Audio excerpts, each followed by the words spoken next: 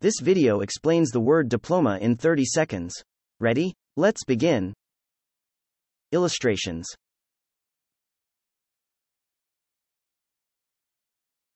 Meaning Diploma is a document that certifies that a person has successfully completed a course of study or training.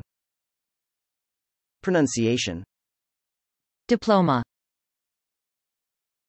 Usage uh, uh, uh, graduation diplomas. Do you, do you still do Visit accenthero.com to get free personalized feedback on pronunciation of diploma.